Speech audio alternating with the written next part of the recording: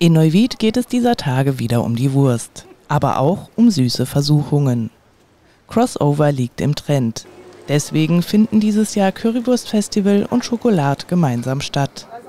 Süßigkeiten aus aller Welt sowie mehr als 100 Sorten Wurst mit über doppelt so vielen Soßen werden auf dem C&C angeboten. Die schwarze Bratwurst, da ist eine tierische natürliche Lebensmittelfarbe zugesetzt worden. So sieht sie gebraten aus. Ja. Und dann zeige ich sie noch mal gerne im frischen Zustand. So sieht die frische aus. Und die haben wir vor gut dreieinhalb Jahren auf dem Currywurst-Festival vor der Pandemie ins Leben gerufen. Und hat einen sehr hohen Eiweißgehalt. Eine weiße Bratwurst gespickt mit ähm, Schokolade und Peperoni mit einem gewissen Pep. Und ähm, ja, die kommt sehr gut an, schmeckt uns persönlich auch sehr gut.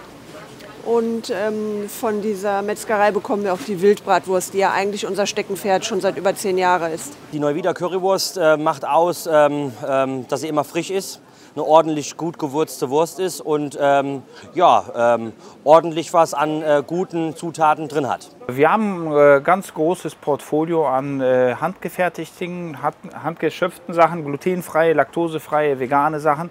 Äh, wir haben vieles im Bereich äh, Biscotti, also Mandelgebäck, Cannoli. Äh, wir haben Kokos-Spezialitäten, Nougat-Spezialitäten. Wir haben britische Karamell-Spezialitäten, also ein großes Portfolio. Hier ist so viel Auswahl und so viele ähm, unterschiedliche Fleischsorten, unterschiedliche Arten und die Zusammenstellung hätte man ja sonst nie so probiert.